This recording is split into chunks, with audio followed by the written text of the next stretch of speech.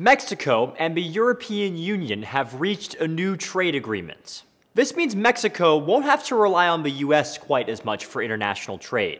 Those two countries and Canada are still in heated negotiations over the North American Free Trade Agreement, or NAFTA. Though no one mentioned President Trump in the announcement, the countries seem to send a message. We're also sending a signal to the world that Mexico and the European Union are open for business. We believe in open, fair, sustainable trade, and that we can make win win trade agreements that are good for our respective citizens. The pact means the EU and Mexico can trade most goods without any tariffs, including agricultural products. The countries expect the deal to be finalized by the end of the year.